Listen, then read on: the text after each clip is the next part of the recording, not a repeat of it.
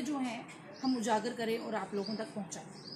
आज अचंभे की बात यह है कि हम आज अखनूर बाज़ार के बीच में जिस वार्ड की तरफ़ अगर बढ़ रहे हैं तो वहाँ पे हमें एक बैनर जो है वो दिखाई दे रहा है। एक पोस्टर सा लगा हुआ है और उस पर पोस्टर पे लिखा क्या हुआ है, ये मैं आपको बताने जा रही हूँ। आज जिस गरीब से हम निकल रहे हैं, वो बैनर हमें वहाँ पे दिखाई दे रहा है। जी हाँ ये सामने बैनर है। और इस बैनर पे क्या लिखा हुआ है, पहले तो मैं खुद पढ़ के आपको एक बार बताऊँगी। अहंकारियों के विरोध में, बढ़ती महँगाई के विरोध में।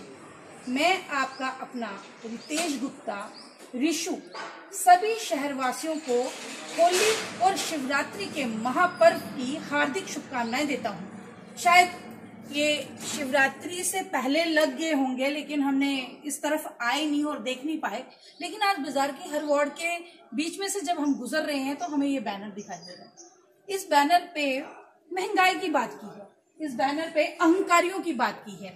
और जिस इंसान ने अहंकारियों और बढ़ती हुई महँगाई की बात की है, हम इन्हीं से एक प्रयास करेंगे जानने का कि आखिर वो ये बैनर लगा के समाज को लोगों तक आवाज़ क्या पहुंचाना चाहते हैं? ये ए, क्या कहना चाहते हैं? आज सीधी बात करेंगे उन्हीं से रितेश जी पहले तो आपका बहुत बहुत स्वागत है हमारे चैनल रितेश जी हम देख रहे हैं कि आज जिस गली से निकल रहे हैं जिस वार्ड की तरफ़ बढ़ रहे हैं तो ये बैनर जो है आपका एक लगाया हुआ है जिसमें सबसे पहला सवाल ये आता है कि अहंकारी आपने लिखा है अहंकारियों के विरोध में। ये अहंकारी कौन लोग हैं और आप किसको अहंकारी कहना कह रहे हैं? इस मैसेज के ज़रिए आप किसको अहंकारी बोल रहे हैं? राबिया जी, सबसे पहले मैं आपका धन्यवाद करूँगा कि आपने ये मेरी रिपोर्ट कवर की अहंकारी राबिया जी सत्ताधारी होते हैं। अहंकारी वो लोग होते हैं जो लोगों को झूठे वादे करके झूठी तसलियाँ दे के गुमराह करके वोट तो ले जाते हैं, बाद में उनको पलट के नहीं देते। अहंकारी वो लोग होते हैं जो अपने और का फ़र्क भूल जाते हैं। अहंकारी हमेशा सत्ताधारी ही होते हैं आम जनता। जनता नहीं होती। आज आप सत्ताधारी लोगों को अहंकारी बोल रहे हैं। जी बिल्कुल। आगे हम महँगाई की बात कर रहे हैं। महँगाई आज ही आपको क्यों दिख रही है? ये तो पहले भी होती आई है। पहले भी काफ़ी सरकारें थी। हर चीज़ महँगी होती आई है। ये हमने नज़रों से खुद जब से हम पैदा हुए हैं हम भी देखे हैं। लेकिन आज ये महँगाई की बात कैसे? जी आप बिल्कुल ठीक कह रही हैं कि पिछली सरकारों में भी महँगाई होती थी। महँगाई आज भी हो रही है और मैं आज ही ये मुद्दा क्यों उठा रहा हूँ? उसका कारण है मेरे पास। अब जो पहले महँगाई होती थी वो चमुखी नहीं होती थी चौतरफा नहीं होती थी। अब जो महँगाई है वो चमुखी है चौतरफा है।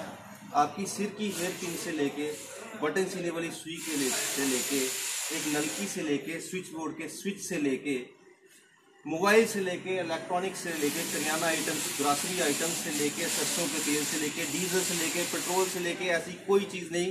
गैस सिलेंडर तक, ऐसी कोई चीज़ इस केंद्र सरकार ने नहीं छोड़ी जो महँगी नहीं। और हास्यास्पद बात ये है, जैसे मैं आपको छोटा सा उदाहरण दूँगा, एक आंकड़ा दूँगा पेट्रोल का। सन 2011-12 में जब यूपी की सरकार थी, जिसका नेतृत्व उस वक्त के प्रधानमंत्री डॉक्टर मनमोहन सिंह कर रहे थे, अंतर्राष्ट्रीय बाज़ार में कच्चे तेल की कीमत थी 112 डॉलर प्रति बैरल। ध्यान से सुनिएगा, अंतर्राष्ट्रीय बाज़ार में कच्चे तेल की कीमत थी 112 डॉलर प्रति बैरल।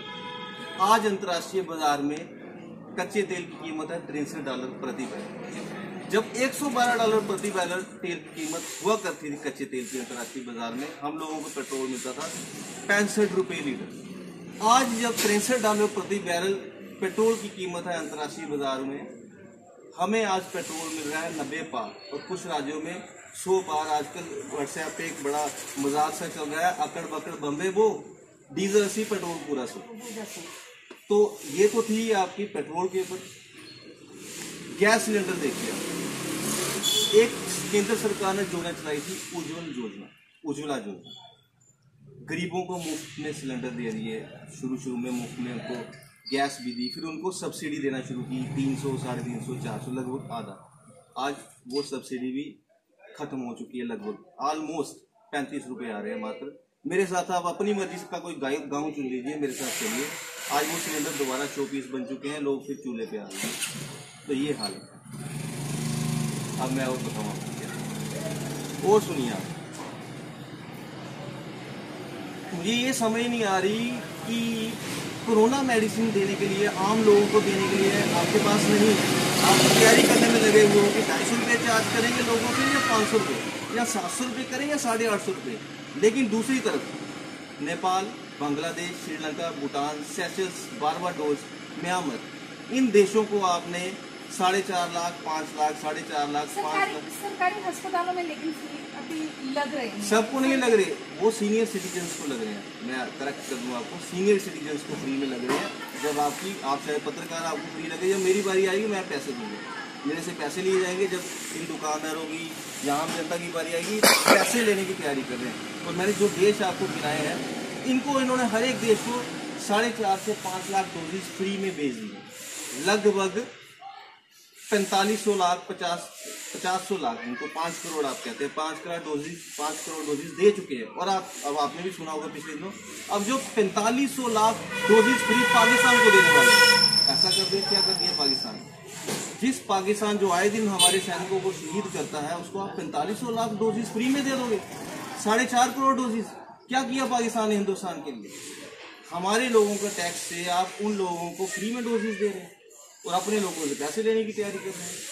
ये अहंकार नहीं तो क्या है मुझे बताइए ये महँगाई नहीं तो क्या है मुझे बताइए रितेश जी इस बैनर में हमें एक और चीज़ बड़े अचंभे वाली लग रही है हमें। आपने किताब सी पकड़ रखी है लाल रंग की किताब। इसके पीछे क्या लॉजिक है? ये किताब क्या चीज़ है? देखिए मैं पढ़ा लिखा हूँ। तो छुरी में पकड़ नहीं सकता था नेता मैं हूँ नहीं हाथ जोड़कर। तो मुझे किताब ही बेस्ट लगी। मैं अपनी बात जो है सरकार तक किताब के ज़रिए पहुँचा सकता हूँ छुरी के ज़रिए तो नहीं। हाथ में जोड़ नहीं सकता क्योंकि झूठे बातें में कर नहीं सकता। तो यही है। ये एक पढ़े लिखे व्यक्ति ने एक मैसेज जो है वो दे रहे हैं किताब के ज़रिए। रितेश जी आ, हमने देखा कोरोना महामारी थी कोरोना काल चल रहा था महामारी फैली हुई थी। यहाँ पे खाने के लिए भी लोगों को लाले पड़ गए थे उस टाइम उस टाइम भी लेकिन आप बहुत एक्टिव थे। लेकिन आप कभी आपका फेस जो है कभी सामने नहीं नज़र आया। और आज मतलब कि कोरोना जो महामारी पीक पे थी आज थोड़ा सा राहत मिली है उस चीज़ से। लेकिन आज आप बहुत एक्टिव हैं। मतलब कि इसके पीछे क्या लॉजिक है? आज ही क्यों? उस दौरान जब सब दुनिया सामने आ रही थी, उस दौरान आप क्यों अपना फेस पीछे रखा और आज आप फिर सामाजिक कार्यकर्ताओं के लिए आगे बढ़ते हुए आ रहे हैं आगे? देखिए, मैं नहीं समझता कि जब आप समाज के लिए कार्य कर रहे हो, समाज के लोगों की मदद कर रहे हो, वो तो हर एक नागरिक का फ़र्ज़ है ना।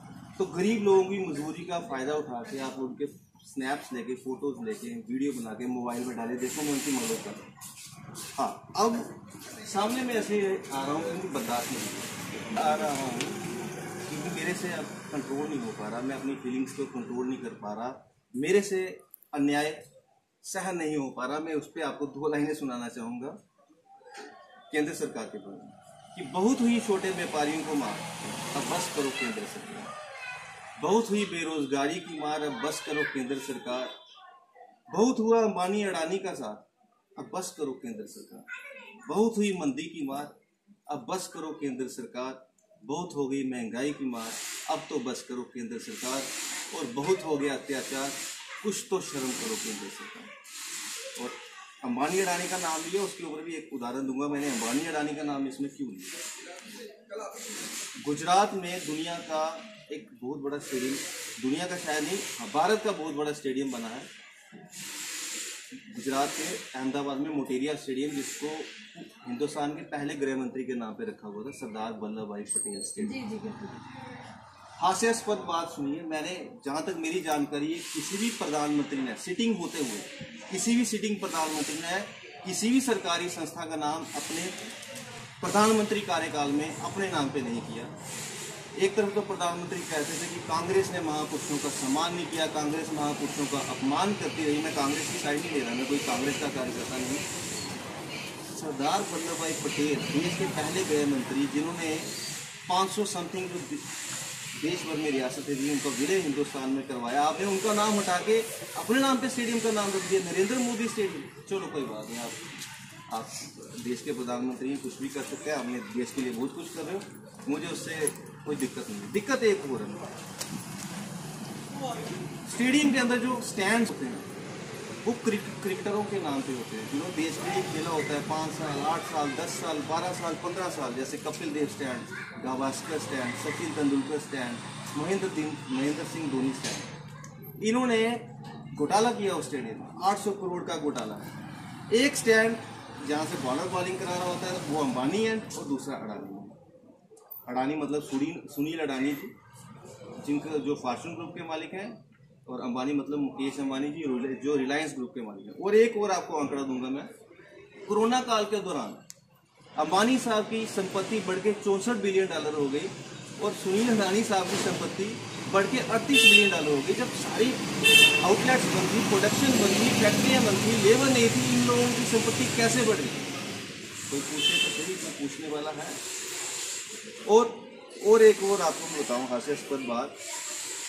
ये कहते रहते हैं डबल इंजन वाली सरकार डबल इंजन वाली सरकार डबल इंजन वाली सरकार। क्या किया इस डबल इंजन वाली सरकार ने? जम्मू के लिए। जम्मू की अनदेखी, जैसे कश्मीरी हुक्मरान करते थे ये भी तो कर रही है डबल इंजन वाली सरकार। इन्होंने कहा था, तभी को हम साबरमती के तर्ज पे डेवलप करेंगे। गुजरात की एक मशहूर नदी है साबरमती।